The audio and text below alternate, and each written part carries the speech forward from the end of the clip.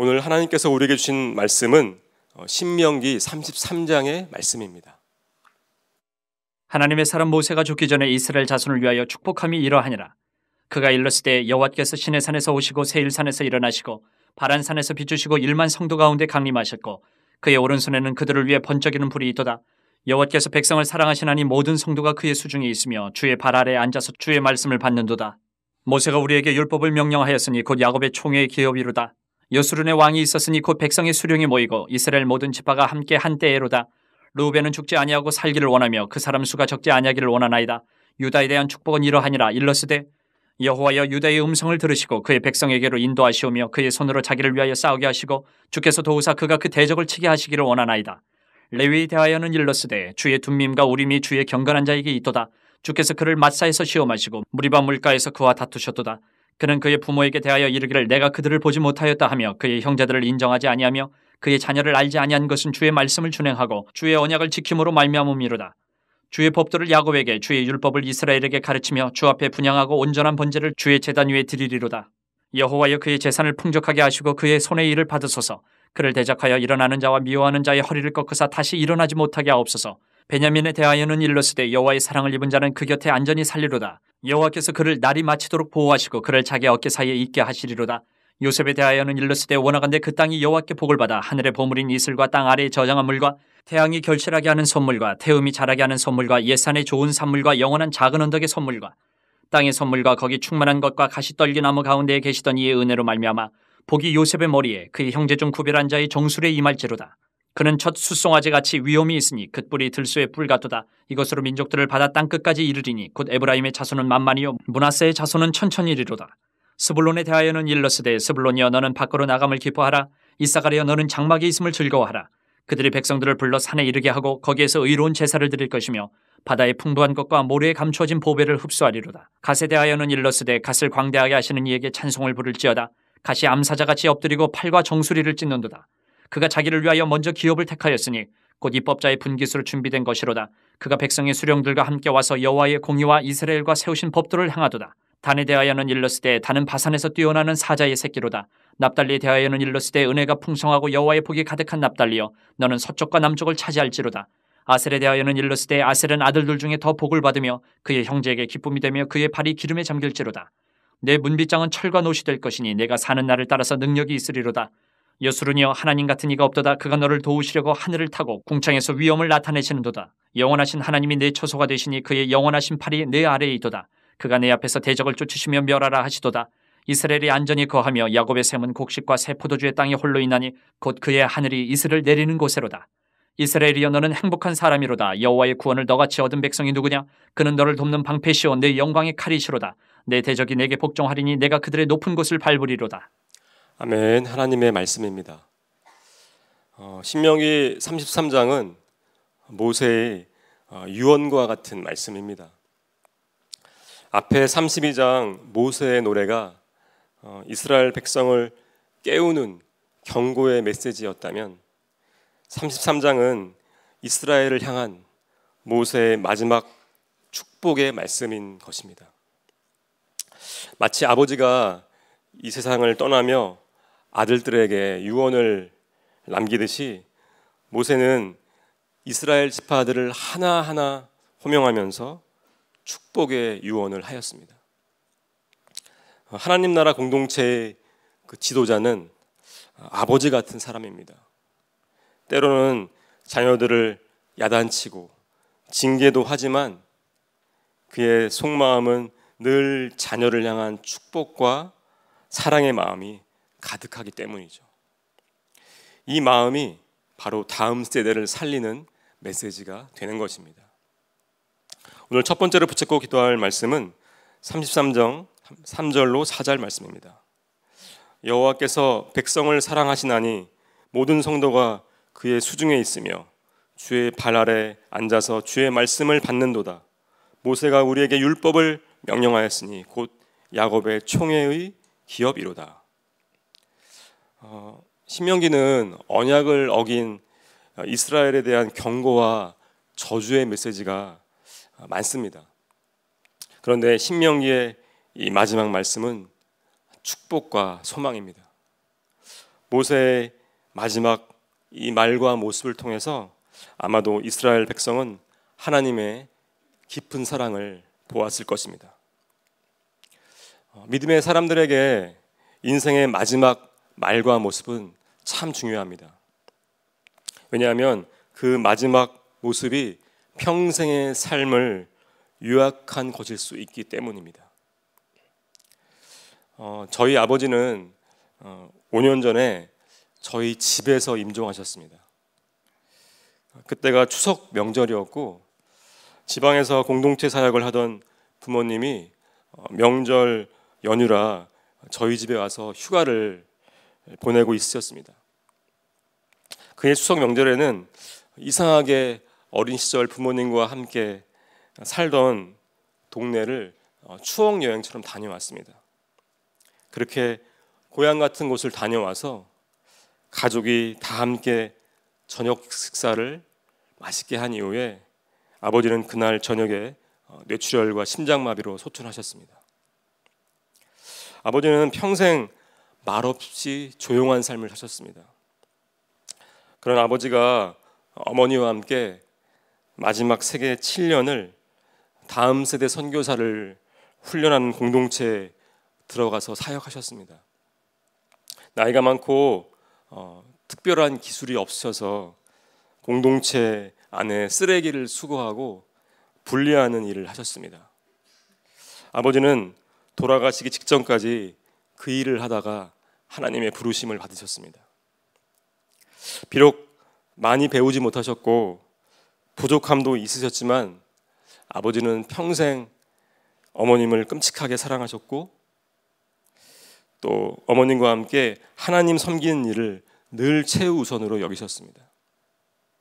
사실 소천하시기 2년 전에 그 뇌동맥류 진단을 받고 병원에서 수술을 권유 받으셨지만 아버지는 하나님이 허락하신 만큼만 이 땅에서 살다가 하겠다고 고집하셨고 그렇게 2년을 어, 투병 한번 안 하고 사시다가 어, 주님의 부르심을 받으셨습니다. 아버지의 갑작스러운 소천 후 치러진 3일간의 어, 장례는 슬픔의 시간이었지만 놀라울 정도로 하늘의 기쁨이 가득했습니다.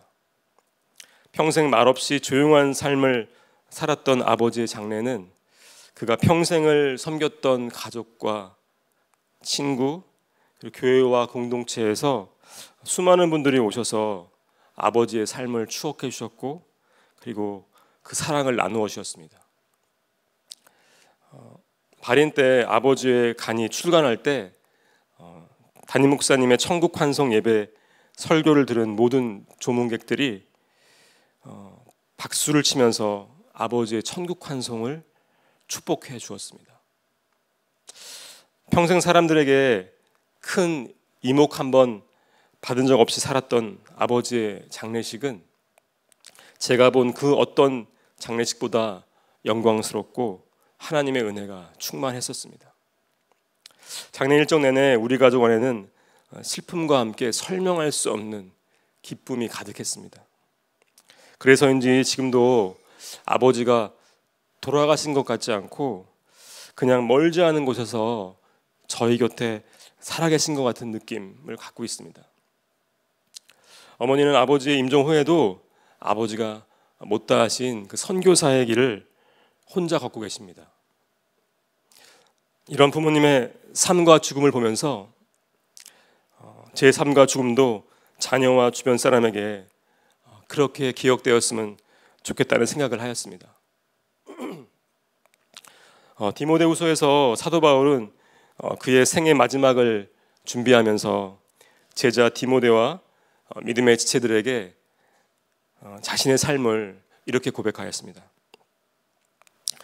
어, 디모데후 4장 7절 8절입니다. 나는 선한 싸움을 싸우고 나의 달려갈 길을 마치고 믿음을 지켰으니 이제 후로는 나를 위하여 의의 면류관이 예배되었으므로 주 곧 의로우신 재판장이 그날에 내게 주실 것이며 내게만 아니라 주의 나타나심을 사모하는 모든 자에게도니라. 우리의 마지막 삶과 고백이 다른 이들에게 복음이 되고 하나님 나라에 대한 소망의 메시지가 되었으면 좋겠습니다. 하나님의 사람 모세와 사도 바울처럼 말입니다. 두 번째로 붙잡고 기도할 말씀은 33장 29절 말씀입니다. 이스라엘이여 너는 행복한 사람이로다. 여호와의 구원을 너같이 얻은 백성이 누구냐? 그는 너를 돕는 방패시요 내 영광의 칼이시로다. 내 대적이 내게 복종하리니 내가 그들의 높은 곳을 밟으리로다. 아, 성도 여러분, 어, 지금 행복하십니까? 모세는 이스라엘에게 언약의 말씀을 모두 전한 이후에 너는 행복한 사람이로다 라고 결론처럼 선포하였습니다. 하나님의 말씀을 다 듣고 나서 우리가 내리는 결론은 세상에 나와 같이 행복한 사람은 없다. 바로 이것이어야 합니다. 왜냐하면 그것이 하나님 말씀의 결론이기 때문입니다.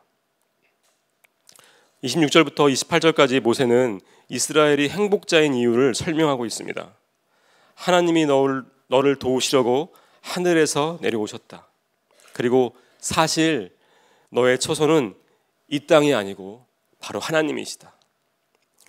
그의 팔로 너를 감싸나 보호하시며 너의 대적들을 쫓아내실 것이다. 이 땅은 너에게 풍요와 복을 주고 아름다운 자연 환경이 충만하여 평화를 누릴 것이다. 너는 하나님 안에서 안전하다. 이 세상에 너희처럼 하나님의 편애를 받아 구원받은 민족이 있는지를 찾아봐라. 이스라엘은 이런 놀라운 복을 약속받았습니다. 진정한 행복자가 된 것이죠. 하나님을 만난 사람은 자신이 행복자임을 깨달을 수밖에 없습니다. 그러면 이제 그들이 가나안 땅에 들어가서 어떤 삶을 살아야 할까요? 바로 행복 전도자가 되어야 하는 것입니다. 그것이 하나님 나라 백성의 정체성입니다. 그들은 가나안 땅에서 행복의 이유 되시는 하나님을 자랑하고 그를 높이는 삶을 사는 것입니다. 그것이 하나님이 이스라엘과 우리에게 복을 주신 이유입니다. 그 오래전에 그 교육공학이라는 강의를 들은 적이 있습니다. 그때 강사님이 어, 이런 강의를 하셨습니다. 어, 우리가 대화를 나눌 때 말로 하는 어, 언어적 표현보다 표정, 몸짓 같은 비언어적 표현이 사람들의 기억에 훨씬 강하고 오랫동안 남는다는 것입니다. 우리가 들은 말이나 강의가 너무 좋았는데 시간 지나면 그 내용은 하나도 기억이 안 난다는 것이죠. 그런데 그 사람의 미소 띈 얼굴, 열정적인 목소리와 제스처, 또 태도, 전체적인 분위기 등 비언어적인 표현으로 전달된 것은 오랫동안 우리 기억에 남는다는 것입니다. 우리의 말보다는 우리의 태도가 더 강력한 메시지가 된다는 말이죠. 예수님의 사람 제자 훈련 8단원에 보면 이런 질문이 나옵니다. 당신의 얼굴에는 하나님을 향한 믿음이 나타나고 있습니까? 다른 사람에게 자신의 얼굴 표정이 어떤지 물어보고 답을 써보세요. 아마 제자 훈련 해보신 분들은 이 질문 기억나실 겁니다. 우리가 하나님을 믿고 그 안에서 진정한 행복을 누리고 있는지 얼굴로 말할 수 있어야 한다는 것입니다. 왜냐하면 내 안에 있는 믿음과 사랑은 얼굴과 태도로 나올 수밖에 없기 때문입니다. 제가 섬기는 사랑부 예배에 그, 그 중에서도 어린이부 예배를 보면 그 사랑부 친구들의 모습은 그야말로 자유분방함 말 그대로입니다. 그런데 그 찬양율동 시간이 끝나고 예배를 시작하는 어, 인사송과 설교가 시작되면 아이들이 놀랍게도 자리에 앉기 시작합니다. 매주 경험하지만 참 어, 신기할 정도입니다. 특별히 어린이부 아이들 중에서 어, 제가 설교를 시작하면 가만히 앉아서 저를 뚫어지게 쳐다보는 아이가 하나 있습니다. 사실 그 아이는 언어도 잘 안 되고 지적 기능도 참 약한 친구입니다. 그런데 제 설교를 너무 집중해서 듣는 것입니다. 그리고 더욱 놀라운 것은요, 이 아이가 집에서도 제 설교 영상을 보고 있다는 것입니다. 그 제 설교 영상 보는 것을 좋아하고 어, 잠잘 때도 그걸 틀어놓고 잔다고 합니다. 어머님이 저한테 말씀해 주셨어요. 이, 이 아이가 제 설교를 다 이해하고 내용이 너무 은혜로워서 그렇게 하는 것일까요? 아닐 것입니다. 아마도 이런 이유일 것입니다. 제가 그 사랑부에서 설교할 때는 목소리 톤이 지금보다 한 두 톤 정도 올라갑니다. 그리고 굉장히 밝고 행복해 보이는 말투로 그렇게 예배를 인도하고 설교합니다. 그 아이는 저의 이러한 말투와 태도를 좋아하는 것 같습니다. 거기서 아이는 행복감과 안정감을 느끼는 것이죠. 그리고 저는 사랑부 선생님들에게 예배 시간 내내 선생님들도 그런 말투와 태도를 해주시라고 부탁합니다. 왜냐하면 우리가 전하는 말의 내용을 장애를 가진 아이들이 다 이해할 수가 없지만 선생님이 행복해하고 아이들을 정말 즐거워해주는 사랑해주는 그 태도가 아이들에게 하나님의 사랑과 구원의 감격을 전해줄 수 있기 때문입니다. 그리고 그렇게 이 아이들에게 전달된 이 메시지는 언어적인 표현으로 하나님을 배운 그 누구보다 훨씬 더 강하고 오랫동안 그들의 마음에 이 메시지가 남을 것이라고 저는 믿습니다. 어, 말로 전도하기가 쉽지 않은 시대입니다. 세상은 예수 믿는 사람을 말쟁이라고 비아냥거리기도 합니다. 우리가 그동안 말과 지식으로만 이 복음을 가르치려 했기 때문인 것 같습니다. 어, 성자로 알려진 아시스의 프랜시스가 이런 말을 했다고 합니다. 항상 복음을 전하십시오. 그러나 꼭 필요할 때만 말을 사용하십시오. 이제 우리는 세상에 말이 아닌 우리의 행복한 얼굴, 온유하고 겸손한 태도로 복음을 전해야겠습니다.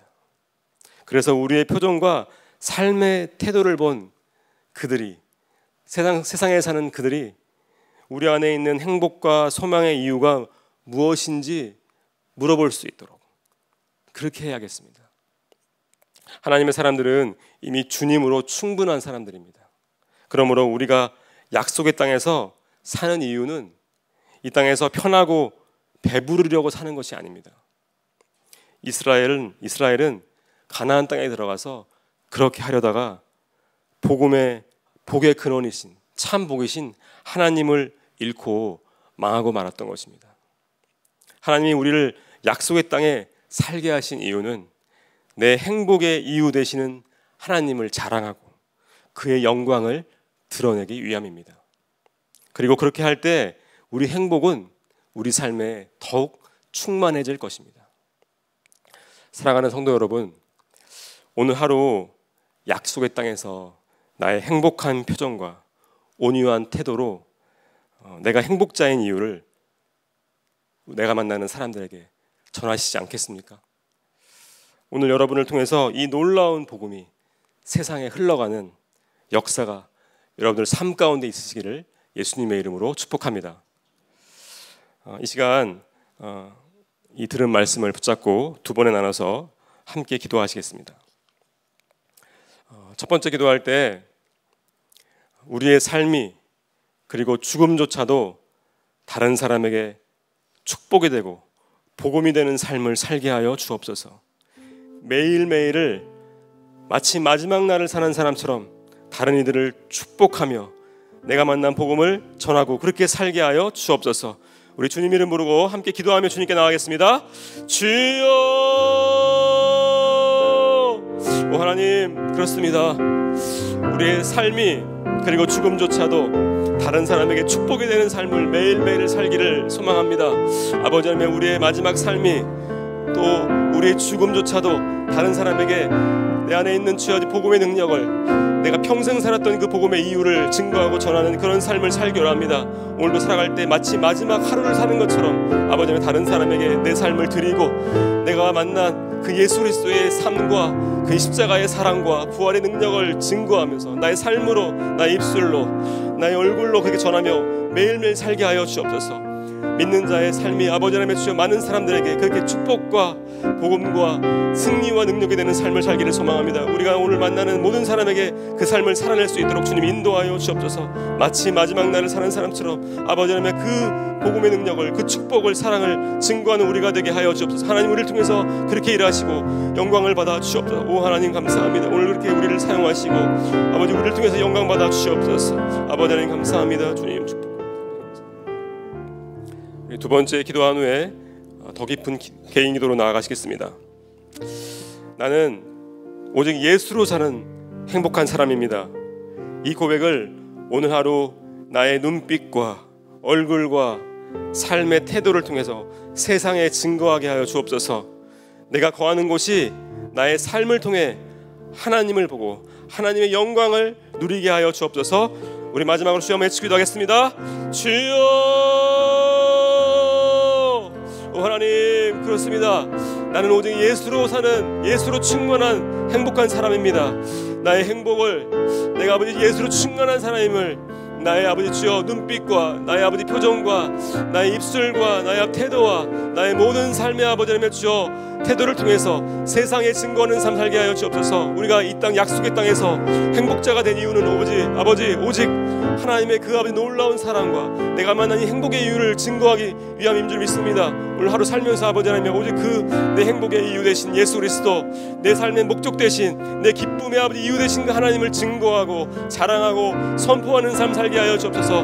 말이 아니라 지식이 아니라 내 삶과 내 표정과 내 태도와 아버지 하나님의 주여 나의 아버지 모든 삶의 아버지 하나님의 주 태도를 통해서 하나님을 드러내고 그래서 사람들이 내 삶의 내 마음속에 소망의 이유가 무엇인지 내 삶의 행복의 이유가 무엇인지 내 안에 기쁨의 이유가 무엇인지를 물어보는 그런 삶을 살게 하여 주옵소서.